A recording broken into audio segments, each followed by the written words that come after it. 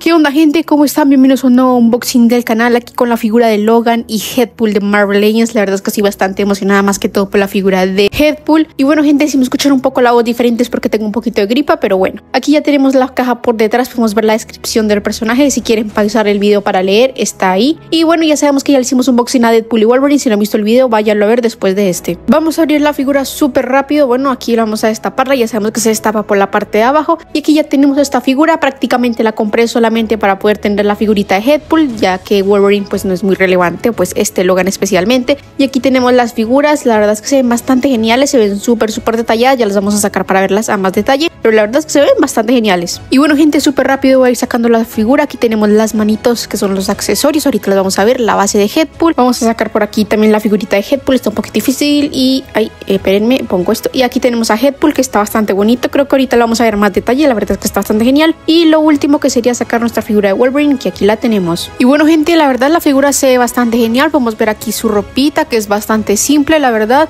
y los zapatos que si no estiman son los de la figura de Wolverine del traje amarillo, ahorita vamos a ver eso. La verdad es que está bastante genial la figura, el rostro sigue pareciéndose bastante a Hugh Jackman, la verdad está muy muy parecido también. Y bueno, la verdad es que no es una mala figura, está bastante genial, ahorita la vamos a ver a más detalle, pero la verdad está increíble. Y bueno gente, aquí tenemos a Headpool que la verdad está bastante genial, quiero que vean los detalles tanto del gorrito, de los ojos, pero esperen y mejor se los muestro más detalle. Ok gente, aquí tenemos ya la figurita de Headpool, le puse su basecita y como aquí como les decía, la verdad está súper súper detallada, el rostro, el color, los detalles son súper geniales, la verdad es que es una figurita súper súper simple, es una cabeza, pero hay que admitir que está bastante bastante genial y los dientes, todo está súper genial. De accesorios solo tenemos este par de puños cerrados, la verdad es súper simple, pero bueno, se agradece que al menos tengamos puños cerrados. Y bueno gente, que ya tenemos la figura y quiero que vean una comparación con la cabeza del Wolverine de traje amarillo, la verdad que son súper parecidas prácticamente son la misma cabeza, solo que con un pequeñito repintado los ojos diferente.